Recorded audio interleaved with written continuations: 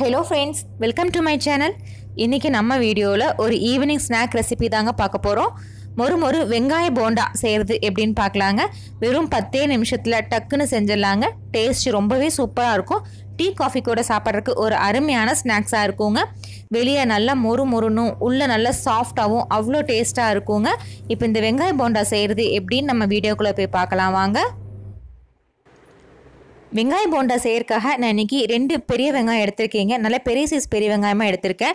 இது தோல் நீக்கிட்டு நல்ல ஸ்லைசஸாக கட் பண்ணி எடுத்துக்கலாங்க. மெலிசான ஸ்லைசஸாக கட் பண்ணி எடுத்துக்கணும். பாருங்கள் நான் காமிச்சிருக்கமா அது மாதிரி மெலிசாக கட் பண்ணி எடுத்துக்கணும். இந்த வெங்காயத்தை உதிரி உதிரியாக உதிர்த்து எடுத்துக்கோங்க. அது அதாவது ஒன்றோட ஒன்று ஒட்டாமல் நல்லா உதிரி உதிரியாக இருக்கணும். அந்த மாதிரி இருந்தால் தான் வெங்காய போண்டா செய்யறதுக்கு நமக்கு நல்லா இருக்குங்க. அதே மாதிரி வெங்காயத்தோட மாவும் நல்லா மிக்ஸ் ஆகி நல்லா டேஸ்ட்டாக இருக்கும்.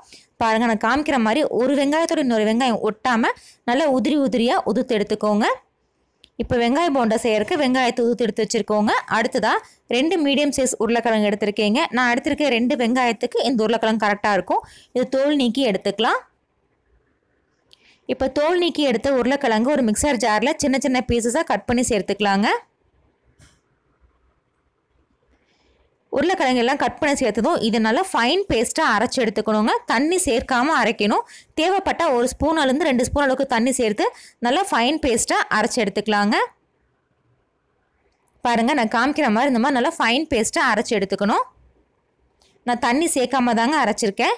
அடுத்ததாக ஒரு மிக்சிங் பவுலில் அரை கப் அளவுக்கு தயிர் சேர்த்துக்கலாங்க. நல்லா கொஞ்சம் புளிச்ச தயிராக சேர்த்துக்கலாம். இதை ஒரு விஸ்க்கு வச்சு நல்லா அடித்து எடுத்துக்கலாங்க. ஒரு நிமிஷத்துக்கிட்ட நல்லா அடிச்சிங்கன்னா இந்த மாதிரி நமக்கு நல்லா லூஸான கன்சிஸ்டன்சியில் கிடைக்கும். இப்போ இது கூட நம்ம அரைச்சி வச்சுருந்த உருளைக்கிழங்கு விழுது சேர்த்துக்கலாங்க. தண்ணி எதுவும் சேர்க்கக்கூடாதுங்க அந்த உருளைக்கிழங்கு விழுது மட்டும் இந்த தயிர் கூட சேர்த்துக்கணும். அதையும் சேர்த்து நல்லா கலந்து எடுத்துக்கலாம். தயிரும் இந்த உருளைக்கிழங்கு விழுதும் நல்லா கலந்துடணுங்க அந்த மாதிரி கலந்து எடுத்துக்கலாம். இந்த மாதிரி தயிரையும் உருளைக்கிழங்கும் நல்லா கலந்து எடுத்ததுக்கு அப்புறமா ஒரு பவுலில் முக்கால் பவுல் அளவுக்கு மைதா மாவு எடுத்திருக்கீங்க. அது இது கூட சேர்த்துக்கலாம். அது கூடவே கால் கப் அளவுக்கு அரிசி மாவு முக்கால் கப் மைதா மாவு கால் கப் அரிசி மாவு எடுத்திருக்கீங்க. அது இது கூட சேர்த்து நல்லா கலந்து எடுத்துக்கலாம் நீங்கள் எந்த கப் வேணாலும் மெஷரிங் கப்பாக எடுத்துக்கலாம். ஆனால் ஒரே கப்பில் எல்லா பொருளும் மெஷர் பண்ணுங்கள் சேர்த்து நல்லா கலந்து எடுத்துக்கலாங்க தண்ணி சேர்க்கக்கூடாது. அந்த தயிர் உருளைக்கிழங்கு சேர்த்தோம் இல்லைங்களா? அதுலேயே வந்து நம்ம சேர்த்துன மாவை நல்லா கலந்து எடுத்துக்கணும் நல்லா கலந்ததுக்கு அப்புறமா இந்த கன்சிஸ்டன்சியில் இருக்க இப்போ தேவைப்பட்டால் ஒரு ஸ்பூன்லேருந்து ரெண்டு ஸ்பூன் அளவுக்கு தண்ணி சேர்த்தா போதுங்க. ரொம்ப மாவு தண்ணியாக இருந்தால் அந்த வெங்காயத்தோட ஒட்டாது. எண்ணெய் அதிகமாக பிடிக்கும்.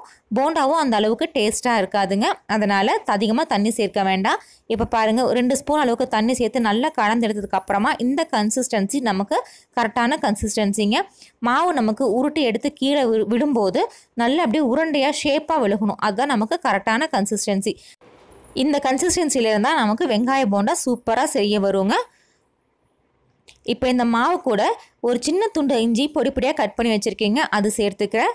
அது கூடவே காரத்துக்காக ஒரு பச்சை மிளகாய் சேர்த்துக்கிறேங்க. நீங்கள் காரத்துக்கு தகுந்த மாதிரி சேர்த்துக்கோங்க. சின்ன சின்ன ஸ்லைசஸாக கட் பண்ணி சேர்த்துக்கலாம். அடுத்ததாக கொஞ்சமாக கொத்தமல்லி தழை பொடி பொடியாக கட் பண்ணி சேர்த்துக்கலாங்க. அதே மாதிரி ஒரு பத்துலேருந்து பதினஞ்சு கருவேப்பிலையில் பொடி பொடியாக கட் பண்ணி சேர்த்துக்கலாம். இதெல்லாம் சேர்த்ததுக்கு அப்புறமா இந்த மாவுக்கு தேவையான அளவு உப்பு சேர்த்துக்கலாங்க. நான் பின்னாடி சேர்க்க போகிற வெங்காயத்துக்கும் சேர்த்து இப்போவே கொஞ்சம் உப்பு அதிகமாக சேர்த்துருக்கேன். நீங்கள் உங்கள் டேஸ்ட்டு தகுந்த மாதிரி சேர்த்துக்கோங்க. சேர்த்து நல்லா கலந்து எடுத்துக்கலாங்க. இந்த மாவு கூட நம்ம சேர்த்துன பொருளெல்லாம் நல்லா கலக்கிற மாதிரி கலந்து எடுத்துக்கோங்க. உங்களுக்கு மாவு பார்த்தீங்கன்னாவே தெரியும். நல்லா உளுந்து வடைக்கு செய்கிற மாவுமா நல்லா புசு புசுன்னு இருக்கு இல்லைங்களா? இந்த கன்சிஸ்டன்சியில் இருக்கிற மாதிரி பார்த்துக்கோங்க அடுத்ததாக இது கூட கால் ஸ்பூன் அளவுக்கு பேக்கிங் சோடா சேர்த்துக்கலாங்க. பேக்கிங் சோடா சேர்த்து அதையும் இந்த மாவு கூட நல்லா கலந்து எடுத்துக்கலாம். அதிகமாக சேர்க்க வேண்டாங்க. ஒரு கால் டீஸ்பூன் அளவுக்கு சேர்த்திங்கன்னா போதும். இப்போ நமக்கு வெங்காய போண்டா சேர்க்க மாவு ரெடிங்க அடுத்ததாக இது கூட நான் முதுத்து வச்சுருந்த பெரிய வெங்காயத்தை சேர்த்துக்கலாம்.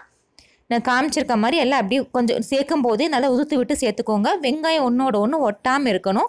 அது அப்படி ஒட்டி இருந்துச்சுன்னா நல்லா பிசைஞ்சு விட்டு சேர்த்திங்கன்னா போதும். உங்களுக்கு நல்லா உதிரி உதிரியாக வந்துடும் இப்போ நம்ம கட் பண்ணி வச்சிருந்த வெங்காயத்தை எல்லாத்தையும் இந்த மாவோட சேர்த்ததுக்கு அப்புறமா உடனே மாவு கூட நல்லா அப்படியே கலந்து விடக்கூடாதுங்க. நான் காமிக்கிற மாதிரி அப்படியே பரட்டி எடுத்து வச்சிங்கன்னா போதும். ஏன்னா அந்த வெங்காயத்தை மாவோட நல்லா அப்படியே உடனே கலந்து விட்டு எடுத்து வச்சிட்டிங்கன்னா வெங்காயம் தண்ணி விட ஆரம்பிச்சிடும் அப்போ மாவு உங்களோட கன்சிஸ்டன்சி மாறிடும். அதனால மாவோட நல்லா அடித்து கலக்கக்கூடாதுங்க. நான் காமிக்கிற மாதிரி அப்படியே லைட்டாக பரட்டின மாதிரி பரட்டி எடுத்து வச்சிருங்க போதும். அடுத்ததாக இப்போ நம்ம இந்த வெங்காய போண்டா செய்யறதுக்கு ஸ்டவ்வில் ஒரு பேன் வச்சு அதில் எண்ணெய் சேர்த்துருக்கீங்க. எண்ணெய் கொஞ்சம் நல்லா மிதமான சூடானதுக்கப்புறமா அதுலேருந்து ஒரு குளிக்கரண்டி அளவு சின்ன குளிக்கரண்டியில் ஸ்பூனுக்கு பார்த்தீங்கன்னா ரெண்டு ஸ்பூன் கணக்கு வரும். ரெண்டு ஸ்பூன் எண்ணெய் எடுத்து நம்ம ரெடி பண்ணி வச்சுருந்த அந்த வெங்காய போண்டா மாவில் சேர்த்துக்கணுங்க. சேர்த்து லைட்டாக கலந்து விட்டு எடுத்துக்கலாம். இப்போ எண்ணெய் நல்லா சூடாயிடுச்சுங்க ஃப்ளேம் நல்லா லோவில் வச்சுட்டு நம்ம மாவுலேருந்து சின்ன சின்ன உருண்டைகளாக எடுத்து இந்த எண்ணெயில் சேர்த்து பொறிச்சு எடுத்துக்கலாங்க. ஃப்ளேம் நல்லா லோவில் வச்சுட்டே சேர்த்துக்கோங்க. நம்ம வெங்காயம் சேர்க்கறனால சீக்கிரமாக செவந்து கருகிடும். அதனால ஃப்ளேம் நல்லா லோவில் வச்சுட்டே சேர்த்துக்கோங்க. சேர்த்துனதுக்கப்புறமா ஃப்ளேம் நல்லா லோக்கு மீடியம் நடுவில் வச்சு ஒரு அஞ்சு நிமிஷத்துக்கிட்ட ரெண்டு சைடும் திருப்பி போட்டு நல்லா வேக வச்சு எடுத்துக்கோங்க. நம்ம உருண்டைகளாக போடுறதுனால உள்ளே வேகிற கொஞ்சம் டைம் எடுக்கும். அதனால் ஃப்ளேம் நல்லா லோக்கு மீடியம் நடுவில் மாற்றி மாற்றி வச்சு ரெண்டு சைடு வேக வச்சு எடுத்துக்கோங்க. பாருங்கள் நான் காமிக்கிற மாதிரி நல்லா ப்ரௌன் கலராக வெந்து வந்ததுக்கப்புறம் எடுத்துக்கலாம். இப்போ இந்த வெங்காய போண்டா சூப்பராக ரெடி ஆகிருக்குங்க நம்ம இது ஒரு பிளேட்டுக்கு மாற்றி எடுத்துக்கலாம். இந்த வெங்காய போண்டா டீ காஃபி கூட ஈவினிங் டைமில் சாப்பிட்றதுக்கு ஒரு அருமையான ஸ்நாக்ஸாக இருக்குங்க. நீங்கள் கண்டிப்பாக ட்ரை பண்ணி பாருங்கள் மிச்சிருக்க மாவு எல்லாத்தையும் இதே மாதிரி போண்டாவாக போட்டு எடுத்துக்கலாங்க. ஃப்ரெண்ட்ஸ் நீங்களும் இந்த வெங்காய போண்டா ரெசிபியை ட்ரை பண்ணி பாருங்கள் ட்ரை பண்ணி பார்த்துட்டு உங்கள் கமெண்ட்ஸுக்குள்ள சொல்லுங்கள் உங்களுக்கு இந்த வீடியோ பிடிச்சிருந்துச்சுன்னா மறக்காமல் நம்ம சேனலுக்கு சப்ஸ்கிரைப் பண்ணுங்கள் லைக் பண்ணுங்கள் ஷேர் பண்ணுங்கள் தேங்க்யூ